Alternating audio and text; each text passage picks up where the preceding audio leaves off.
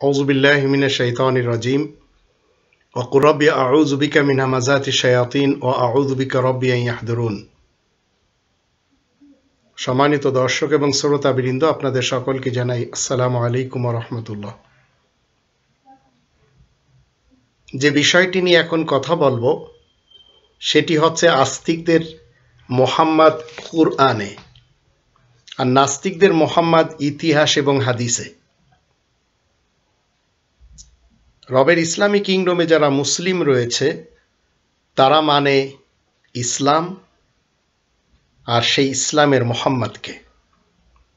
নন মুসলিমরা মানে গায়ের ইসলামের মোহাম্মদকে। মোহাম্মদ শব্দটি যে রুট থেকে রুট থেকে এসেছে, সেই রুট হলো হা, মিম, দাল, হামদুন। এর অর্থ প্রশংসা এই প্রশংসা যার জন্য করতে হবে, তার ব্যাপারে পরিপূর্ণভাবে জ্ঞান অর্জন করতে হবে। তার ব্যাপারে পরিপূর্ণভাবে জানতে হবে। কাল্পনিক কোনো কিছুর হামদ করা যাবে না। এটি মনে রাখতে হবে। ধোকাবাজ এবং ফেরেববাজ কারোর প্রশংসা কখনো হয় না। এটি মুসলিম হলে আপনার মাথার ভিতরে বসানোর চেষ্টা করবেন।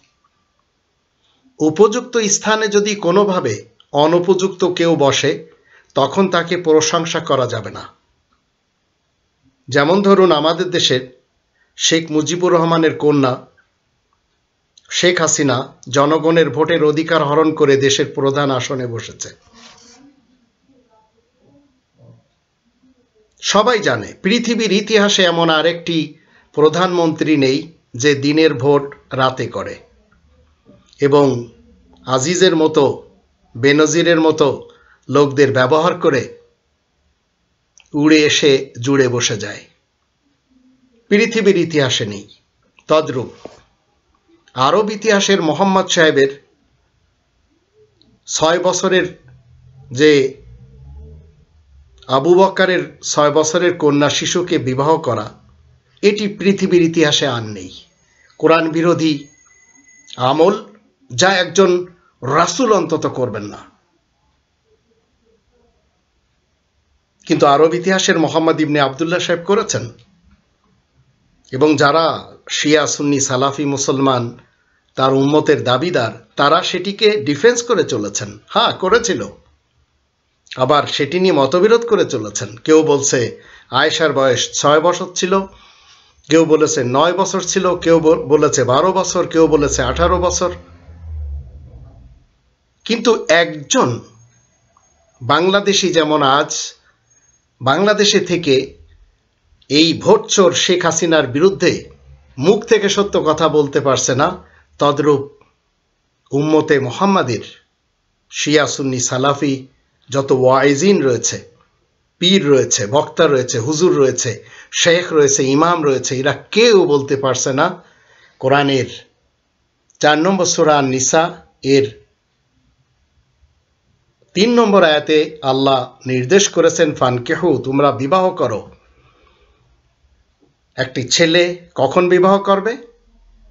সেটি কোরআনের আঠাশ নম্বর সুরাল কসাসের চোদ্দ নম্বর আয়াতে বলা হয়েছে, ওয়ালাম্মা বালাগা শুদ্ধাহু যখন সে বালেগ হবে। আর একটি মেয়ে কখন বিবাহ করবে? সেটি চার নম্বর সুরান নিসাইর ছয় নম্বর আয়াতে বলা হয়েছে অবদালুল ইয়েতামা হাত্তা ইদা বালাগুন নিকাহ। বিয়ের বয়স হতে হবে। তো একটি ছেলে বয়স, বিবাহের বয়স কখন পায়? যখন তার স্বপ্নদোষ হয়। আর একটি মেয়ের বিবাহের বয়স কখন হয়? যখন তার প্রথম পিরিয়ড আসে। এখন যারা বলছেন আরব ইতিহাসের মোহাম্মদ ইবনে আবদুল্লাহ সাহেব ছয় বছরের কন্যা শিশুকে বিবাহ করেছেন। এটি কোরআন বিরোধী। তা আমরা রবের ইসলামী কিংডমে যারা মুসলিম রয়েছি মানতেই পারি না। তো পৃথিবীর ইতিহাসে ভোট চোর হাসিনার যেমন জুড়ি নেই, তদ্রূপ ছয় বছরের কন্যা শিশুর সাথে মোহাম্মদ ইবনে আবদুল্লাহ সাহেবের বিবাহের অন্য কোনো জুড়ি নেই। তবেই তো এই দুইজনের জন্য হামদুন করা যাবে না। প্রশংসা করা যাবে না। যারা করবে, তারা নিজেদের স্বার্থের জন্য করবে এবং নিজেদেরকে ধোকার মধ্যে রেখে করবে। আর এটি আমরা আমাদের দেশের যত গণমাধ্যম রয়েছে, দেখতেই তো পাচ্ছি। এই কোরআনে একশো চোদ্দটি সুরার ছয় হাজার তিনশো আটচল্লিশটি আয়াতের মধ্যে একটি আয়াতে রয়েছে আরবি উনতিরিশটি অক্ষর। আর সেটি হচ্ছে আটচল্লিশ নম্বর সুরা আল ফাতাহের উনতিরিশ নম্বর আয়াতে। এই একটি আয়াতের মধ্যে আলিফ, বা, তা, সা, জিম, হা, খ, দাল, জাল, র ঝা সিন, শিন সোয়াদ দ ত ভ আইন, গইন, ফা, কফ, কাফ, লাম, মিম, নুন, ওয়াও, হামজাইয়া পাওয়া যাবে। ওয়াও, হা, হামজাইয়া। এই কোরআন যখন আপনি পড়বেন, তো কোরআনের নিজস্ব একটি স্টাইলের গ্রামার রয়েছে। কোরআন অতীতকালকে মাজি বলে, কোরআন বর্তমান এবং ভবিষ্যৎকালকে বলে মুদারে। কোরআনের দৃষ্টিতে কোনো করার কাজকে বলে মুসবাতে ফেল বা ফেলে মুসবাত, আর না করার কাজকে বলে ফেলে মনফি বা মনফি ফেল। কোরআনের আরবি মতে, পুল্লিঙ্গকে মুজাক্কার আর স্ত্রীলিঙ্গকে বলা হয় মন্নাস তো এই হামদুন শব্দ, এই শব্দের অর্থ হলো, সে একজন প্রশংসা করেছে। এই কোরআনের প্রথম সোরা দুই নম্বর আয়াতে আমরা যদি দেখি, আলহামদুলিল্লাহ রবিল আলমিন। আলহামদু যাবতীয় প্রশংসা, বিশেষ প্রশংসা রব্বুল আলমিনের জন্য।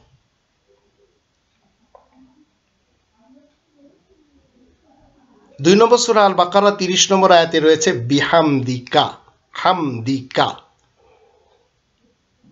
এই কাফে খিতাবি, বিহামদিকা প্রশংসা আপনার জন্য। আবার তেরো নম্বর সুরা আর রদের তেরো নম্বর আয়াতে, বিহামদিহি, এই হাজের হি, এই যে জমির, তার জন্যই রয়েছে প্রশংসা। ঠিক এইভাবে নয় নম্বর সুরা আর তাওবা এর একশো বারো নম্বর আয়াতে বলা হচ্ছে আল হামিদুন প্রশংসা, যারা বিশেষ প্রশংসাকারী। ইসমে ফাইল। আর বাইশ নম্বর সুরা আল হজ এর চব্বিশ নম্বর আয়াতে রয়েছে, হামিদুন, ইসমে মুবালাগা। সতেরো নম্বর সুরা বান ইসরায়েলের উনআশি নম্বর আয়াতে রয়েছে, মাহমুদান ইসমে মফউল। আসা, ইয়া বাসাকা রব্বুকা মাকামা মাহমুদা। মাহমুদান সুপরিচিতি, সুপরিচিত জায়গা বা প্রশংসার স্থান। আর চার নম্বর সুরান নিসা এর একশো একত্রিশ আয়াতে বলা আছে, হামিদান। মুবালাগা। আল্লাহ তালার জন্য প্রশংসা। আর একষট্টি নম্বর সুরা আসফ এর ছয় নম্বর আয়াতে রয়েছে, আহমাদুন ইসমিত তফদিল, সবচেয়ে বেশি যে প্রশংসাকারী। আর মোহাম্মদ মোহাম্মদ মোয়াল্লামুনকে ওজনের উপরে আসে, এটি হচ্ছে ইসমে মফউল মোহাম্মদ আত্তামহিদ মাজদার থেকে, হামিদ, হামদুন হামিম দাল আয়াত প্রচারের কারণে প্রশংসার যোগ্য ব্যক্তি। এটি হচ্ছে ইসমে মাফুলের সিগা, যার মধ্যে মোবালাগার অর্থ পাওয়া যায়। এখন যদি আরবের মোহাম্মদ ইবনে আবদুল্লাহ সাহেব নিজেকে বলেন, আনা মোহাম্মদ ওয়ানা আহমদ, তো এটি তো কোরআন সত্যায়িত করছে কিনা সেটি দেখতে হবে। আরবের একজন লোক বলে দিল, আনা মোহাম্মদ ও আনা আহমদ, আমি মোহাম্মদ, আমি আহমদ। যেটি আমরা নাস্তিকদের যে হাদিস, নাস্তিকদের যে ইতিহাস, যা কোরআন বিরোধী সেখানে দেখতে পাই। কিন্তু এই কোরআনের ভিতরে মোহাম্মদ আয়াত প্রচারের কারণে প্রশংসিত ব্যক্তি চারটি জায়গায় এসেছে। আর এটি আসছে থেকে হামদুন থেকে। মোহাম্মদ, আহমদ, মাহমুদ, হামিদ, হামিদুন, এসব কোরআনে রয়েছে। ধর্মের কিছু পণ্ডিতদের মতে,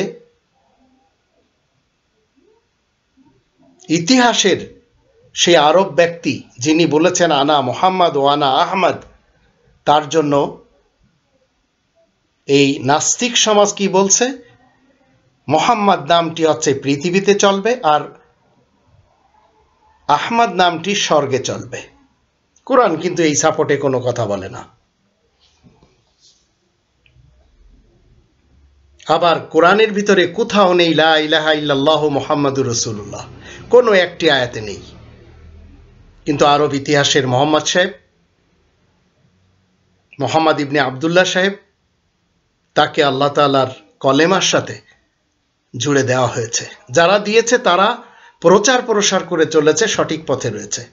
কিন্তু এই কোরআনের সাতচল্লিশ নম্বর সোরা মোহাম্মদ, তার উনিশ নম্বর আয়াতে আয়াতে কি কি রয়েছে?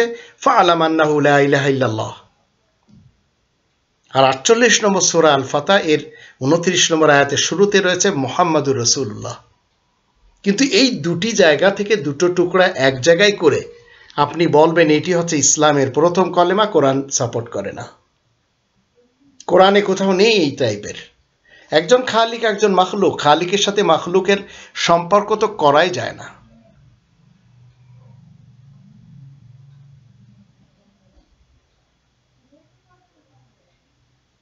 একটু চিন্তা করে দেখুন যে দুটি আলাদা আলাদা জুমলাকে একত্রিত করে কলেমা তৈরি করে দেওয়া হয়েছে এই ধর্মের পণ্ডিতদের পক্ষ থেকে।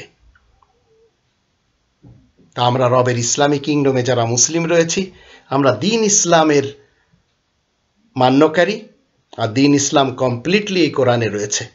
তিন নম্বর সুরা আল ইমরানের উনিশ নম্বর আয়াতে ইন্নাদ্দিন আইন্দাল্লাহ ইসলাম। যাবতীয় আল্লাহ বলছেন বিশ্বের যে জীবন ব্যবস্থা, সেটি শান্তির। এটি আল্লাহ তাল্লার নিকট গ্রহণযোগ্য। পাঁচ নম্বর সুরাল মাইদার তিন নম্বর আয়াতে বলা হচ্ছে ওর অদিতুল্লাহ কুমুল ইসলাম আদিনা তোমাদের সকলের জন্য আমি শান্তির জীবন ব্যবস্থাকে মনোনীত করেছি, পছন্দ করেছি।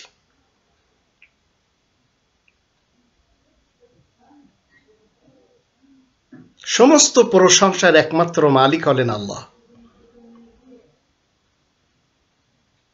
কিন্তু এক শ্রেণির কোরআনের শত্রুরা কি বলে?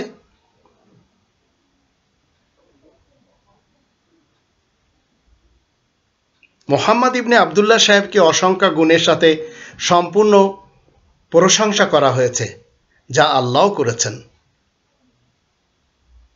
তাই তার প্রেমিক যারা রয়েছে, হাকিকত, মারেফাত, তরিকত, শরিয়াত যারা মানার দাবিদার, আর আমাদের দেশে যারা সুফিয়াজম রয়েছে, তারা কি বলে?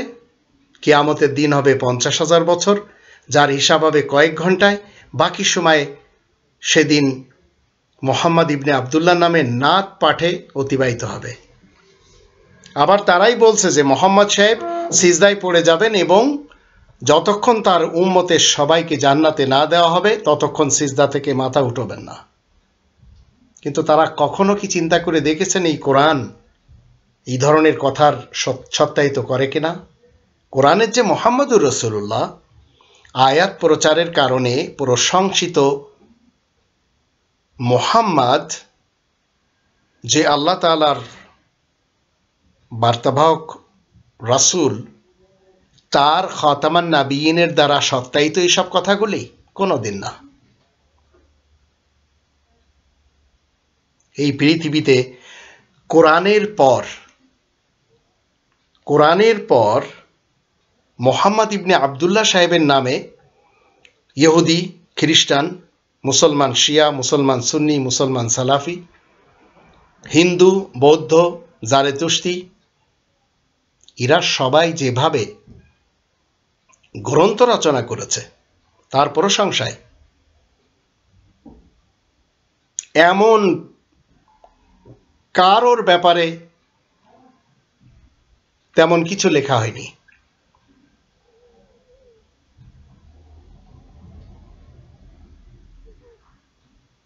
এই কোরআন যখন আপনি, আমি স্টাডি করব, তখন এই কোরআন আপনাকে বলবে, মোহাম্মদ হতে গেলে প্রশংসা পেতে হলে অবশ্যই প্রশংসার কর্ম করতে হবে। কিন্তু অধিক মানুষ মোহাম্মদ হতে চায় প্রশংসার কাজ না করে। আর সেটি আমরা তিন নম্বর সোরা আল ইমরান, এর আয়াত নম্বর একশো আঠাশিতে একটু দেখে নিব। এবং সেই আয়াত থেকে আমরা জানতে পারব, আরব ইতিহাসের মোহাম্মদ ইবনে আবদুল্লাহ সাহেবের ব্যাপারে নাস্তিক লেখকেরা যা কিছু লিখেছে, সেগুলি সত্য কিনা? এখানে বলা হচ্ছে, লা তাহসাবান্নাল্লাদিন একশো সাতাশি এবং একশো আটাশি দুটি আয়াত থেকে আমরা জানতে পারব। একশো সাতাশি আয়াতে বলা হচ্ছে ওয়াইদ আখাদ আল্লাহ মিফাকাল্লাদিন আউতুল কিতাব আলা তুবাইয়ুন্নাউলিনাস ওলা তাকতুমুনা ফানাবাদুহু আর দুহুরি মশতারাও বিহি সামানান কলিলা ফাবি সামা ইয়াশতারুন। একশো আঠাশিতে বলা আছে, লা তাহসাবান্নাল্লাযীনা ইয়াফরাহুনা বিমা আতাউ ওয়া ইউহিব্বুনা ইয়াহমাদু বিমা লাম ইয়াফআলু, ফালা তাহসাবান্নাহুম বিমাফাযাতিন মিনাল আযাব, ওয়া লাহুম আযাবুন আলীম. আল্লাহ যখন কিতাবধারী মুসলমানদের থেকে এই ওয়াদা নিলেন, তোমরা মানব সমাজের কাছে তা প্রচার করবে, মোটেই গোপন করবে না। কিন্তু তারা নিজেদের পিঠের পিছনে তা ফেলে রাখে আর নগণ্য দামের বিনিময়ে তা বিক্রি করে। তাদের এই কারোবার বড়ই জঘন্য। তারা নিজেদের কাজকর্ম সম্পর্কে খুবই খুশি হয়, আর যে কাজ তারা করেনি সেজন্য লোকের কাছে প্রশংসা পেতে চায় মোহাম্মদ হয়ে।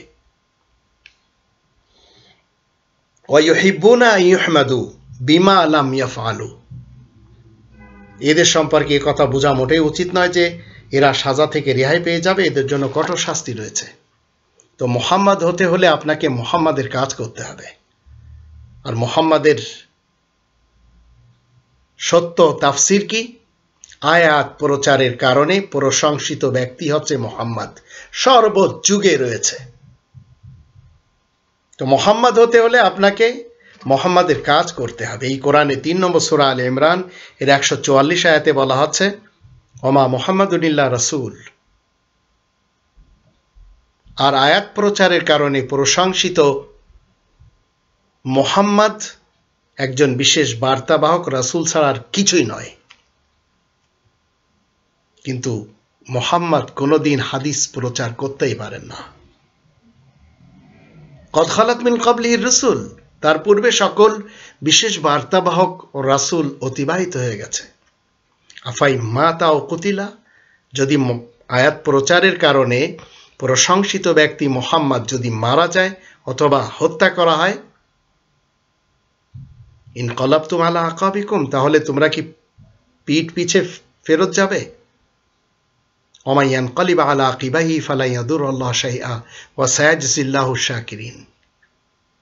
আর যে ব্যক্তি পিঠ ফিরে চলে যাবে, সে আল্লাহ তালার কোনো ক্ষতি কিছুই করতে পারবে না। আর যারা কৃতজ্ঞ ব্যক্তি, তাদেরকে আল্লাহ অনেক কিছু দিবেন। তো প্রশংসিত হতে হলে, মোহাম্মদ হতে হলে আপনাকে আয়াত প্রচারের সাথে আসতে হবে। তেত্রিশ নম্বর সুর আল আজাবের চল্লিশ নম্বর আয়াতে আল্লাহ বলছেন মাকানা মোহাম্মদুন আবা হাদিমের রিজালিকুম। মোহাম্মদ তোমাদের মধ্যকার কোনো পুরুষের বাবা, দাদা, নানা, পরনানা নয়। কারণ সে তো প্রেজেন্ট কন্টিনিউসে আয়াত প্রচারের কারণে মোহাম্মদ হচ্ছে, প্রশংসিত হচ্ছে। আর কি হচ্ছে? মোহাম্মদ আর কি জিনিস? ওলাকির রসুল আল্লাহি ও খাতামান নবীন এবং সকল বিশেষ খবরদাতা নবীদের সিলমোহর যে সত্যায়িত করে। তো বর্তমান চলিতকালে আপনি যত কাজ করছেন, সেই কাজগুলি কোরআনের মোহাম্মদুর রসুল্লাহ সত্যায়িত করছে কিনা, খতামান নাবিয়িন দ্বারা, সেটি আপনাকে, আমাকে দেখতে হবে। ইতিহাসের মোহাম্মদ ইবনে আবদুল্লাহ আলাদা জিনিস, কোরআনের মোহাম্মদুর রসুল্লাহ একেবারে আলাদা জিনিস। ওকান আল্লাহ বিকুল্লি শাইন আলিমা। আর আল্লাহ প্রত্যেকটি জিনিসের সাথে খবর রাখেন। আর সাতচল্লিশ নম্বর সোরা মোহাম্মদ, এর দুই নম্বর আয়াতে আল্লাহ বলছেন ওল্লাজিনা আমানু, আর যারা ইমান আনে ও আমিনু বিমা নুজিল আল্লাহ মোহাম্মদ ওহুয়াল হাক্কুমির রব্বিহিম। আর আয়াত প্রচারের কারণে প্রশংসিত মোহাম্মদের কাছে যা কিছু নাজিল হয়, সে তা হচ্ছে ওহুয়াল হাক্কুমির রব্বিহিম। মানব সমাজের চিরস্থায়ী লালন পালনকারী রবের পক্ষ থেকে সেটি মহাসত্য। দুই নম্বর সুর আল বাকারার একশো সাতচল্লিশ আয়াতেও আল্লাহ বলে দিয়েছেন, আল হাক্কুমির রব্বিক, ফালা তাকুনান্না মিনাল মুমতারিন। এই বিশেষ সত্য তোমার রবের পক্ষ থেকে এসেছে, তাই তুমি সন্দেহ পোষণকারীদের দলে সামিল হবে না। তো মোহাম্মদুর রসুল্লাহ হতে গেলে আপনাকে আয়াত প্রচারের কারণে প্রশংসিত আপনার হতে হবে। আর আটচল্লিশ নম্বর সুর আল ফাতা এর উনত্রিশ নম্বর আয়াতে কি বলা হচ্ছে মোহাম্মদুর রসুল্লাহ আয়াত প্রচারের কারণে প্রশংসিত মোহাম্মদ আল্লাহ তালার বার্তাবাহক রাসুল। ওয়াল্লাদিনা মাহু আশিদা আলাল কুফার যারা এই মোহাম্মদের সাথে রয়েছে তারা আশিদ্দাও আলাল কুফার আয়াত গোপনকারী কাফেরদের উপরে খুবই কঠোর রোহামা ওবাইনহম আর নিজেদের মধ্যে বড়ই রহম দিল তো মোহাম্মদুর রসুল্লাহর কাজ কি? হাদিসের সাথে কথা বলা, হাদিস প্রচার করা, রেওয়ায়াত প্রচার করা না। পঞ্চাশ নম্বর সুরা কফের পঁয়তাল্লিশ নম্বর আয়াতে আল্লাহ রব্বুল আলমিন বলছেন নাহনু আলম বিমা ইয়াকুলুন। আমি বেশ জানি মানুষেরা যা কিছু বলে চলেছে। ওমান তা আলহিম বিজাব্বার। আর তুমি তাদের উপরে কড়াকড়ির কোনো ব্যবস্থা আরোপকারী তো নও? ফাদাক্কির বিল কোরআন। তাই তুমি কোরআনের সাথে উপদেশ দিবে। মাইয়া খফ ওয়াই যে আমার শাস্তি থেকে ভয় করে। তো ফাদাক্কির বিল কোরআনের বিপরীত কোনো কোনো ব্যক্তি মোহাম্মদ হতেই পারে না। সাধারণভাবে ভাবে আয়াত প্রচারের কারণে যখন প্রশংসিত মোহাম্মদ রাসুল হবে, রাসুল হওয়ার আমলে আসতে হলে পাঁচ নম্বর সুরাল মায়েদা সাতষট্টি নম্বর আয়াতের উপরে আমল করতে হবে। সেখানে কি বলা হচ্ছে? ইয়া ইউহার রাসুল বাল্লেক মাউনজিলা রব্বিক। হে বার্তাবাহক, বিশেষ রাসুল, ওই জিনিসে তুমি তাবলিক করবে যা তোমার উপরে তোমার রবের পক্ষ থেকে নাজিল করা হয়। তো মোহাম্মদ আয়াত প্রচারের কারণে প্রশংসিত ব্যক্তি যখন রাসুল হবে তখন শুধু আয়াত প্রচার করবে।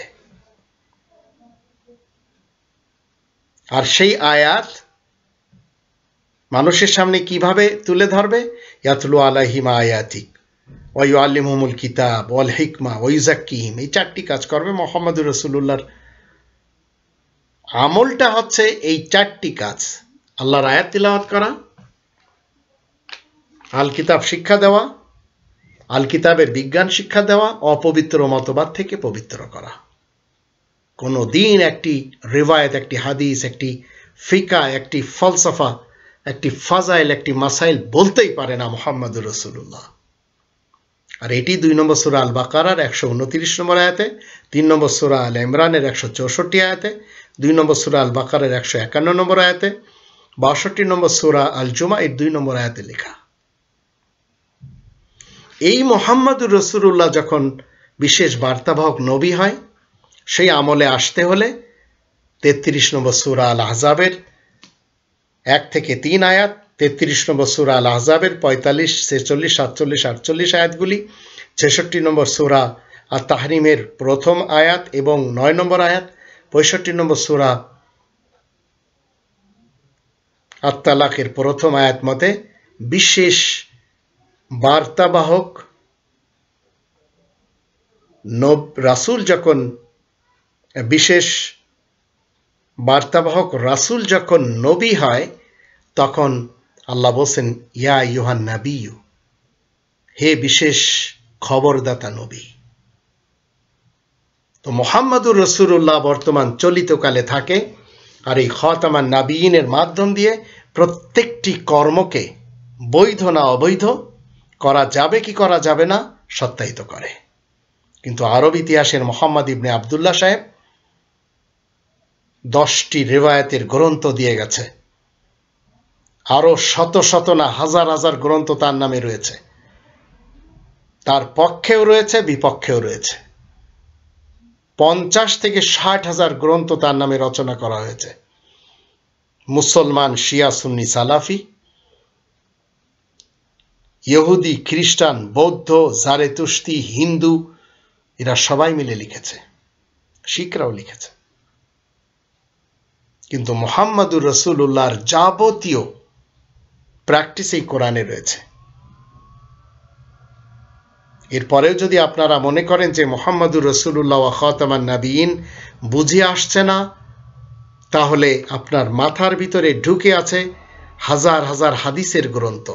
বুখারি ঢুকে আছে, মুসলিম আবুদাও তিনমিজি নেসাই, ইবনে মাজা তাজিবুল আহকাম আল ইস্তেফসার আল কাফি মাল্লা ইয়াহজারুল ফাকি, এগুলি সব ঢুকে আছে।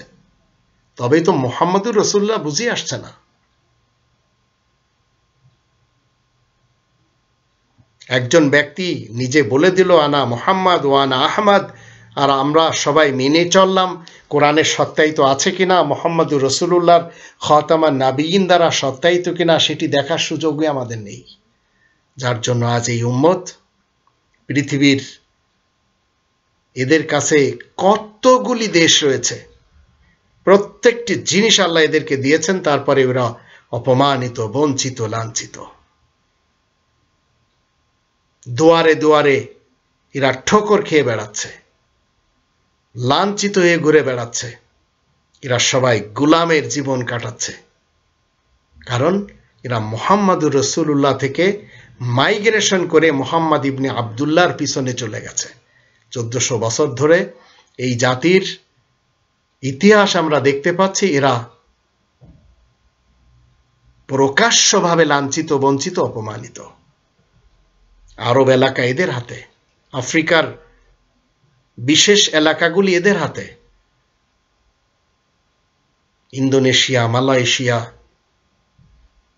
Singapore, Brunei, Bangladesh, হিন্দুস্তানে সবচেয়ে বেশি এরা, চায়নাতে সবচেয়ে বেশি এরা কিন্তু মার খাচ্ছে।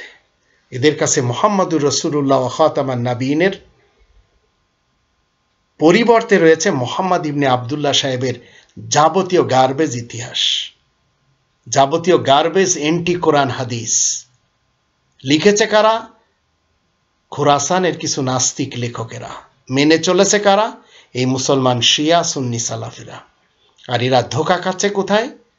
মোহাম্মদ ইবনে ইসমাইল আল বুখারি সাহেবের লেখার মাধ্যম দিয়ে, মোহাম্মদ ইবনে ইয়াকুব আল কুলাইনির লেখার মাধ্যম দিয়ে, আবার নাসিরুদ্দিন আলবানির তাহকিকের মাধ্যম দিয়ে। এরা সবাই মেনে চলেছে আরব ইতিহাসের মোহাম্মদ ইবনে আবদুল্লাহ সাহেবকে। যে লোকটি এই পৃথিবীতে ছয় বছরের একটি শিশুর সাথে বিবাহ করেছে।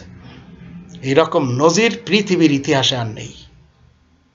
আর মোহাম্মদুর রসুল্লাহ খাতামান নাবিন আপনার এবং আমার চব্বিশ ঘণ্টার আমলের সত্যায়িত করবেন যে এটি করা যাবে, এটি করা যাবে না। এটি করতে হবে, এটি করতে হবে না। এই মোহাম্মদুর রসুল্লাহ ও খাতামান নাবিনের ইত্তেবা যদি আপনি আমি করতে পারি, তাহলে আপনি আমি মুসলিম। আদার দেন মানব ইতিহাসের কোনো মোহাম্মদ সাহেবকে যদি আপনি আমি মেনে চলি, মুশরিক। যেমন মির্জা গুলাম আহমদ কাদিয়ানিকে নবী মেনে চলেছে একশো বছর থেকে। আর এই নবী বানানোর লোকগুলি আছে ব্রিটিশ ভারত। আল্লাহ আমাদের সবাইকে সঠিক বুঝ দান করুন। ওমা আলাইনা ইল্লাল বালাগুল মুবিন।